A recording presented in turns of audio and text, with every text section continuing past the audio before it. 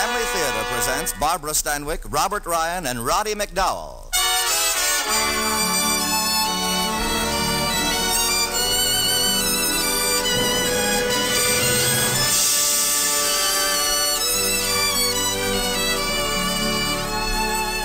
From Hollywood, the Mutual Network, in cooperation with Family Theater, presents The Leading Lady, starring Barbara Stanwyck and Robert Ryan. To introduce the drama, here is your host, Roddy McDowall.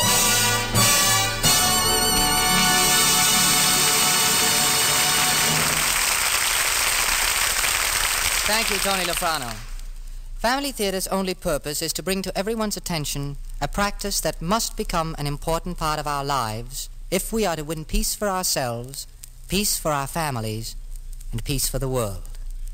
Family theater urges you to pray. Pray together as a family. And now to our drama, The Leading Lady, starring Barbara Stanwyck as Judith and Robert Ryan as Phil.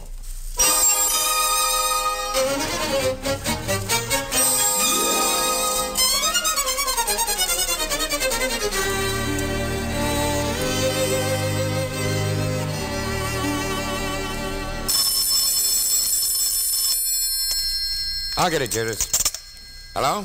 Who? Oh, sure, sure. Put him on. Uh, no, wait a minute. Judith, it's the police commissioner. How nice for us. Uh, it's probably about the tiara. Uh, do you want to talk to him? It's probably about a dozen free tickets for the Saturday matinee. I do not want to talk to He's him. He's a great fan of yours, Judith. Doesn't do any harm to be nice. I am nice. I'm as nice as pie. I'm just not here. Hmm. Well, I'll say you're rehearsing or something.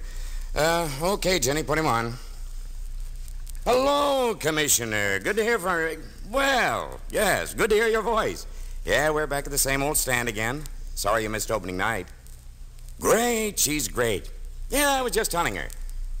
No, no, Judith isn't here right now. No, they're running lines just to brush up downstairs. Yeah, yeah, I consider myself the most honored producer on Broadway, having Judith Carter as a leading lady. Oh, yes, yes, about the uh, tiara. Well, the insurance company's afraid it might be stolen. No, no, Judith just wears it on stage during the play. I see, I see. Well, maybe that is our best bet. Now? Well, all right. Sure, sure, we'll be glad to talk to him. Thanks again, Commissioner. Bye. Well, Mr. Mitchell, you honored producer. They're sending us a private detective. Oh, this is very silly, Mitch, and I'm beginning not to like it. Oh, well, it's all we can do, Judith. They can't put a policeman on this kind of a job. It'd set a precedent. You and your publicity, man. Why must it be a real tiara I wear in the play? People don't go to the theater to look at jewelry. It was just an idea. Bad idea, I admit it, but now the publicity's out on it. and- Well, then run an ad saying I won't be wearing a real tiara. It's very simple. No, it's not, Judith. A lot of people have bought tickets. To see the tiara, I suppose. To see you, of course, not the tiara. But some smart lawyer could pick us up for misrepresentation. All right, who's the detective? What does he do, guard me? Only for a week or so, just to keep the insurance company quiet.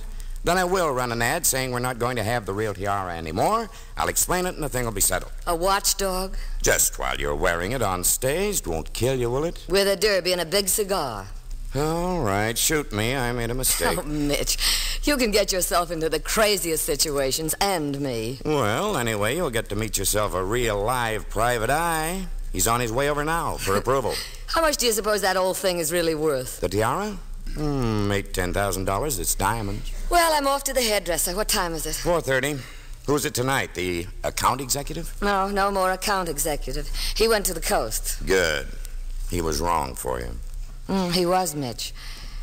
I'm beginning to think they all are. Oh, Judith, if you were my 32 year old daughter, I'd send you to Memphis to get married. I'm 29. Besides, I've never played Memphis. That's what I mean. I'd like that explained. I'd really like a step by step explanation of that. Uh, in a minute. Yes? Okay, okay. Send him in. Who is it? The private eye. Goodbye. Now stay, stay for the laughs. You'll have to meet him anyhow. Mr. Mitchell? Yes, come in, come in. My name's uh, Wheeler. Phil Wheeler. Well, sit down, sit down, Wheeler. Of course, you know Miss Judith Carter. Why, yeah, yes, it's, uh, it's a pleasure.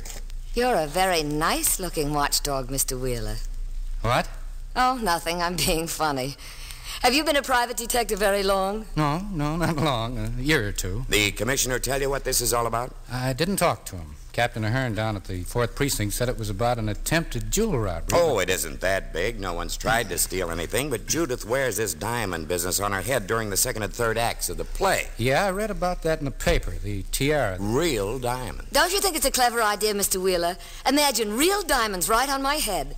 Doesn't it make you want to dash up to the box office? Well, I don't know. Maybe it's... Uh, that's what I like, Mr. Wheeler. A man of conviction. A man who will make a decision and stick by it. Say, what's the rib for? I just came here to do a job. Yes, turn it off, will you, Judy? All right, Mr. Wheeler, I'll turn it off. What do private detectives charge? By the day, uh, 20 in expenses. Well, that's ridiculous. We'll pay you 15. Now, Judith, I'm the one who's picking up the check. And you'll pay him 15. That's equitable. He only works three hours a night. Why make such a big thing of it? It's 15, Mr. Wheeler. Do you take it? Looks like I'll have to. The curtain's at 8.20 sharp. Be outside my dressing room by 8.15. All right. I guess that's all. See you this evening, Mr. Wheeler. Yeah, 8.15. So long, Mr. Mitchell. So long, Wheeler, and good luck. He's cute. Say, what's gotten into you? That guy probably needs every dollar he can lay his hands on. I wanted to see if he'd fight for it. Sometimes I don't know what goes on in your head. You're a wealthy woman. You walk down the street, people recognize Pay you. Pay him the 20. Pay him 25. No, no, I- I'll pay it. What gets into you? What are you searching for? I don't know. Some sort of a man. Phooey. He is cute. Cute but spineless. Isn't that the way you like him? And he's worried about something, too. Did you notice that? Probably his bank balance. No, no, no. He's got something on his mind, some problem. Judith, you're getting that look on your face. Am I? Remember, I've got a run of the play contract with you. Hmm? Judith. Judith. Oh, you're not listening to me.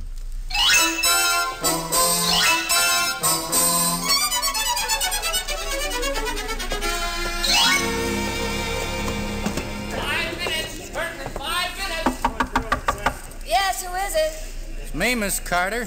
Wheeler. Come in, come in. Well, right on time, Mr. Wheeler. Very good. Thanks. Oh, uh, this is the object of all the excitement, the tiara. I thought it was supposed to stay in the box office safe until I picked it up. Yes, yes, it was. Pretty, isn't it? That was pretty expensive. You shouldn't have taken it out of the safe, Miss Carter. Oh, don't play private detective so hard, Phil. Uh, it, it is Phil, isn't it? Yeah, it's Phil. Really, Miss Carter, that's an expensive piece of jewelry. If someone wanted to grab it, This, nobody would have it. I guess you don't read the papers. In the last three months, right here in the New York area, there have been almost half a dozen jewel robberies. Impending disaster. Oh, I love it. Is it a gang? Do the police think it's all the work of one gang? May be very funny to you, Miss A gang of international jewel thieves led by a tall, dark man with a black beard and a Malacca cane. Okay, okay, but you're paying me fifteen dollars a day. to- Twenty. What? I mean, twenty-five. Twenty-five. But this afternoon you said. Ah, that was this afternoon, Philip. You've been promoted. But I don't get what. You can use the extra money, can't you? Use it. I'll say I can use it, but I thought so. Philip, what's worrying you? why, uh, nothing. Oh, now don't lie to me. Something's worrying you. What is it? Do you have a family to support? Well, in a way. You mean you're. you're married? No, but uh, I live with my mother. Oh, she's sick, isn't she? No, Curtain in two minutes, Miss Carter. Yes. Well, what's wrong with her? my mother. Nothing. Well, then what's bothering you? Maybe I can help. I'd like to help. There's nothing you can do, Miss Carter. Nothing anyone can do. It's about money, though, isn't it? Mm, in a way, yeah, but I've got to work it out myself. Well, I- I'm on now. We'll talk about this after the show. But really, Miss no Carter. No buts about it, Philip. Oh, you're in trouble, I can tell.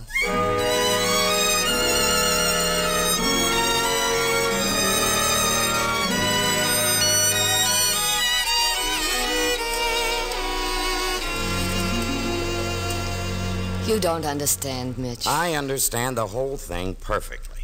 This handsome Shamus with the blue eyes has got you on a merry-go-round. No, no, you're wrong, Mitch. The tiara was supposed to go back a week ago. It's still around, and so is he. Phil is all mixed up inside. He needs help.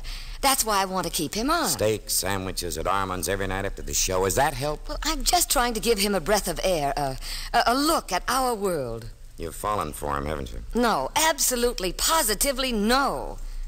I. I like him. Mm-hmm. Baby, you're going to be sorry. Take my word for it. Oh, Mitch, can't you see? I see. I see. Fine. That private eye of yours is a phonus balonus. He's a sweet, confused guy. He's fishy, baby. He's fishy as an aquarium. Mitch, I've never had to tell you to mind your own business. Well, then don't start now. Something else about your Mr. Wheeler. He's buck hungry. Mitch, I've heard enough. He hasn't got a problem. He just loves that dollar. That's all, Mitch. Okay.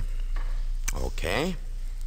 I, I don't expect you to understand this, Mitch. I, I can even see why you think it's, well, maybe even foolish, but I want to help Phil find himself, if I can. I'm out of this, Judy. I've said my piece, and now I'm out of it. You can waltz this guy around any way you want. Don't worry, Mitch, I will.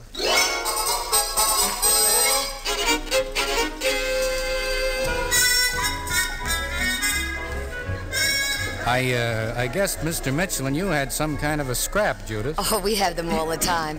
I just wanted to bring you up to date, Phil. You mustn't mind him. He's, oh, I guess you'd call him suspicious. Of me? Of you, of anyone, everyone. He fathers me. I'm, I'm his Galatea.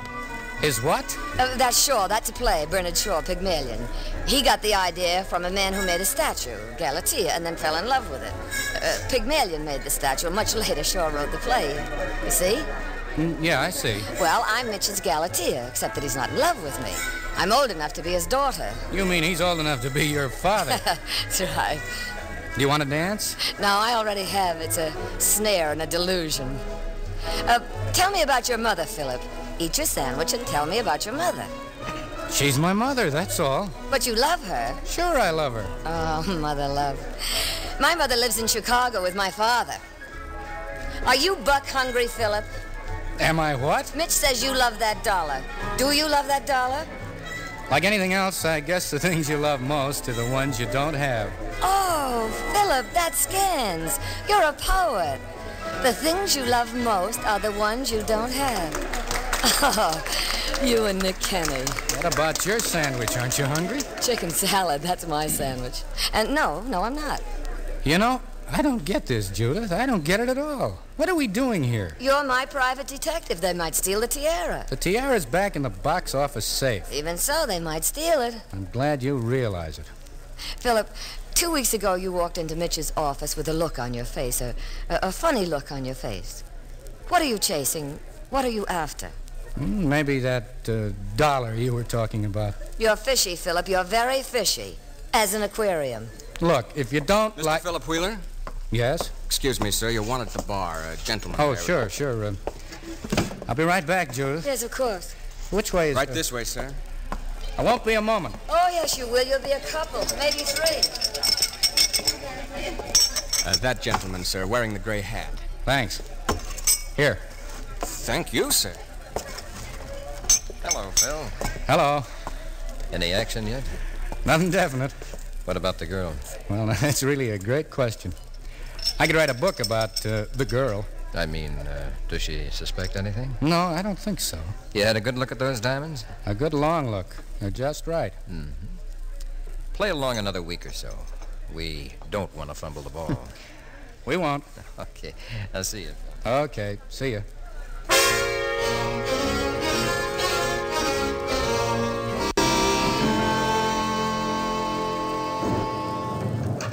Well, there she is, Mr. Wheeler. Locked up for the night again, good and tight. Yeah. Even if someone wanted to bust into the box office here, they'd never crack that safe. She's a beauty. Mm-hmm. Yeah. Hey, can I give you a lift? You'll drown in that rain. No, no, thanks, Harry. I'll walk. I'm just over on 48. Well, if you don't mind getting soaked. No, night air'll do me good. Good night, Harry. Good Night, Mr. Wheeler.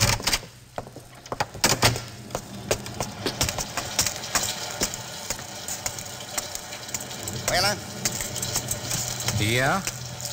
Uh, let's step into the doorway here out of the rain. I'd like to talk to you. Sure. This is my pal. How do you do? Hi. We, uh, want to talk to you about those diamonds you're standing around all the time. Yeah? Can we talk to you? Depends on, on what you got to say. Well, we was thinking maybe we could talk money to you. All right. Yeah, we're all talking the same language then. You, uh, don't know us, huh? I don't know your names. We've been very busy in this town. We come in from Cleveland. Yeah, Cleveland, Ohio. Uh, what's your proposition? We got a fence that'll take that tiara if we can get it. Yeah, but we ain't no good at safes and like that, see? Who sent you here? How do I know this isn't a phony? You put the word out, didn't you? Your own guy sent us. What guy? Oh, you know, big guy, over on 3rd Avenue. Wears a gray hat. Name of who? Name of nothing. We don't ask no names. How do I know you can handle a job like this? You have to do it during the show, all sorts of people Wait a minute, backstage. look, look. You read the papers? Yeah. You read them last month about that heist over on East Side? Big party going on downstairs all the time? Yeah. Paper said 18,000 bucks were taken? And I remember. Malarkey. Didn't bring four. What do you think this'll bring? Oh, the fence will go, uh, 3,500. It can't look as if I'm in on it. Don't worry. You won't. You're figuring to have it both ways, huh? Do you blame me? Nah, I don't blame you. That Carter dame's nice. Okay, we got a deal then, huh? We got a deal. Come on up to my place and we'll work it out.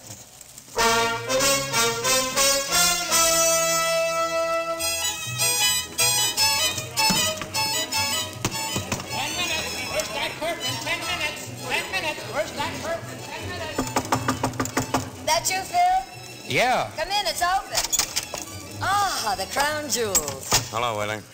Evening, Mr. Mitchell. Let me have that, filled, will you? I'm running a little behind schedule. Sure, here. How's the private detective business, Wheeler? Oh, getting along. How many other clients you got besides us? A couple. None of them this steady, though. I'll bet they aren't. Mitch? What's going on, Judith? Did I walk in on something? Mm, In a way, yes. We were talking about you, Philip. She was talking about you. I was just listening. Uh, we were wondering, have you ever thought about going on the stage? You mean acting? Oh, don't look so shocked. You might be very good. You look good. You're tall. So's our doorman. Mitch, I've never been on a stage in my life, Judith. Thanks, but I don't think it'd work. Oh, man. Mitch, you promised to let me handle it, and I'm. Go- I'll get it. Hello? I'm not here. Yeah? Oh. Oh, okay, sure. I'll I'll be right out. Who was it? Stage door, a couple of baskets of flowers for you. Flowers? From whom? I didn't say. I'll go out and have them brought in. Wasn't there a note? Didn't say. I'll be right back.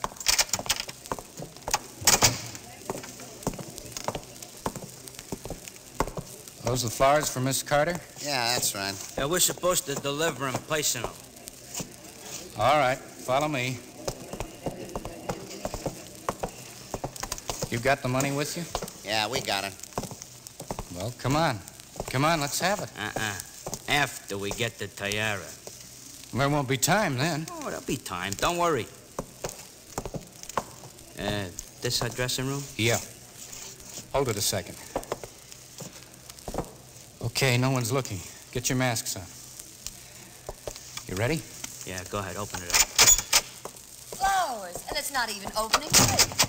All right, lady. Let's have that thing on your head. What is this? Clam up, Pop. Come on, lady. Come on, come on. Philip, who are these men? They put a gun on me, Judith. What could I do? That's it, lady. Take it off and hand it to us.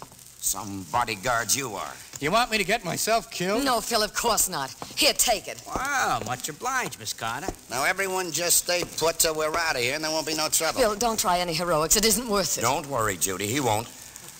I don't see you sticking your neck out, Mitchell. I'm not paid to... Okay, okay. Simmer down, all of you. Five minutes, Carter. Five minutes. Say okay. Uh, yes, all right. Now, keep this straight. I'm only going to say it once. It'll take us about a minute to get clear of this place. It can go real smooth if you wanted to. But if you don't, someone might get hurt. Not you, but someone out there you like. Everything clear? Okay, come on, Turk. They got it. Wait a minute. Forget it, Shamus. You're out of luck. Phil, what are they talking about? Why, you dirty double-crossing... Easy, Mr. Easy. You should have collected first. This is beginning to add up. Phil, you knew about this? You were in it with them? All right, what of it? But you didn't have to do that. I would have helped you. Miss Carter, can I see you for a moment? Who's that? Well, it's, uh, It- uh it's the call boy, isn't it? Yeah, yeah, the call boy. You, uh, you better let him in. No, no, no, Turk. Stay put. That ain't the same guy knocked before. I tell you, it's the call boy. Shut up. Miss Carter? Uh, she'll be right out. I think someone's tipped off? I don't know. Come on, lady. You're going with us. me. You, get over here. Don't do it, Judy. Look, we're getting out of here, Pop. She goes along to make sure we do. Use your heads. You can't both hide behind her. You don't figure to, pretty boy. You're coming too. Get over here. Look, give me a break. Oh, for heaven's sake, Phil, at least show a little backbone. Yeah, Shamus, you're letting the lady down pretty hard. Maybe not. Hey, what are you doing? Let go of my hand. Get down, Jody. Turn, take it. You're a little rusty, Henry. Look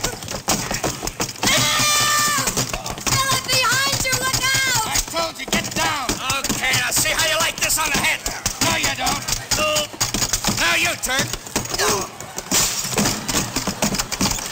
Hey, Phil.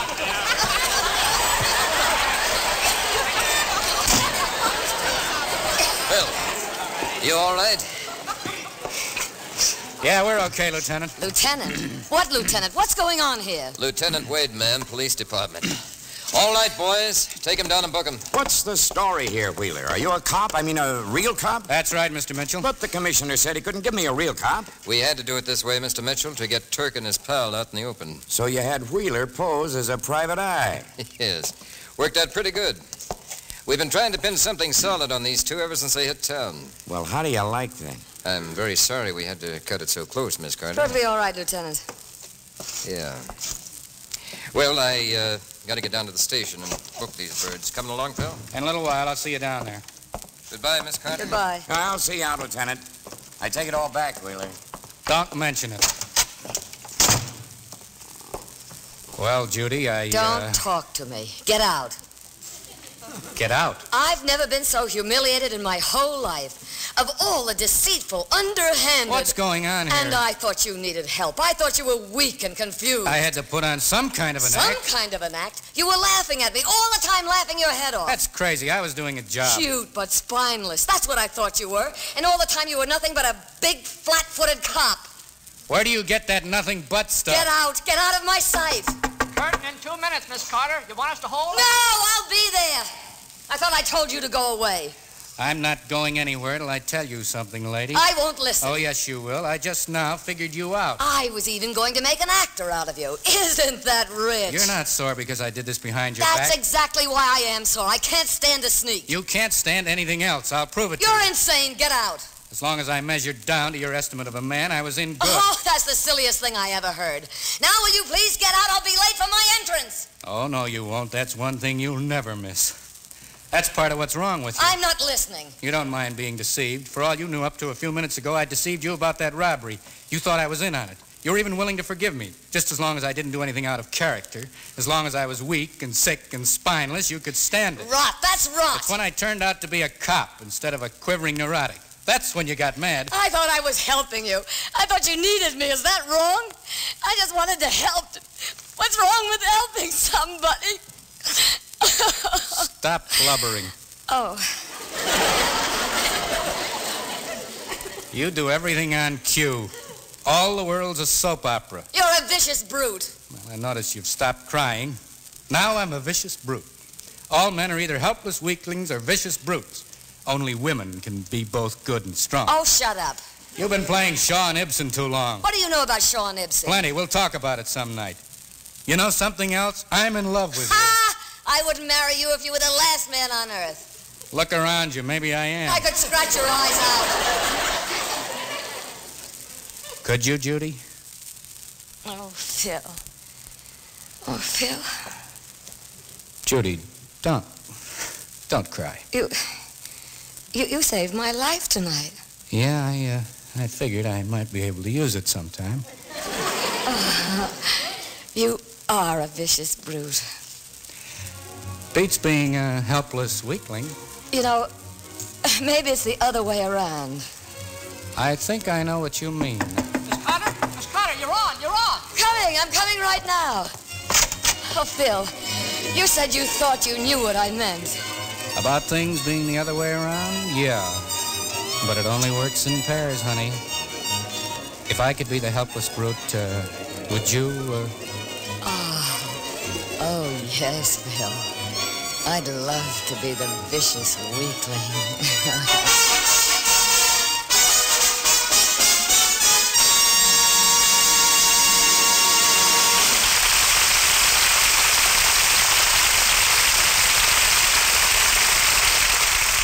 On behalf of Family Theater, our thanks to Barbara Stanwyck, Robert Ryan, and the entire cast.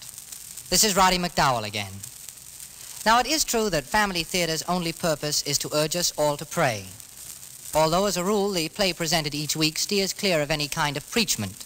with the reminder of prayer confined to what might be called the commercial. Now that's what I'm here for. However, in the comedy we've just heard, I think Judith's attitude came close, very close, to precipitating an emotional tragedy by reason of a very common form of pride. She'd have forgiven Philip for being a weakling, even a thief, which is all well and good, forgiveness being a fine thing too. But her egotism nearly got the better of her when he turned out to be a decent man. She had painted a mental picture of herself, the great forgiver, the strong-willed woman, and she couldn't face the truth. Pride. By contrast, the basis of prayer is humility, which has been defined not as false self-abasement, but simply as facing the truth, the truth in action, which Judith was unwilling to do. Again, she wanted to be the dominant partner, unwilling to marry a man not abjectly dependent upon her, although that could hardly form the foundation of a balanced family life. Families, and I speak as a member of a close one, seem to thrive best on mutual cooperation, everyone close to each other, trying to understand the other, his nature and his needs, and working together in order to help each other. And in all humility, depending on our Heavenly Father. That is why each week, not so much in the play itself as in this part of the program, Family Re- Theater repeats week in and week out, and untiringly, its true and tremendous slogan that the family that prays together stays together. More things are wrought by prayer than this world dreams of.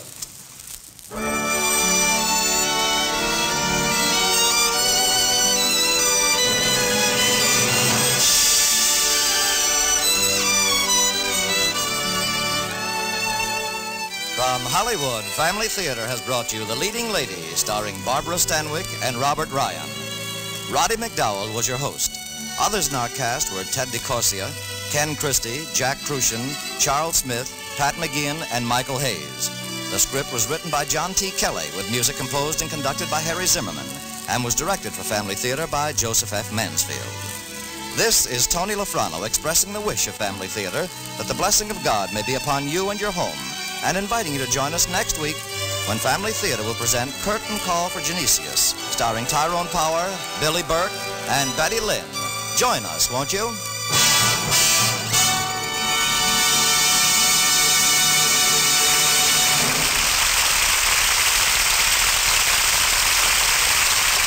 Theater is broadcast throughout the world and originates in the Hollywood studios of the world's largest network. This is the Mutual Broadcasting System.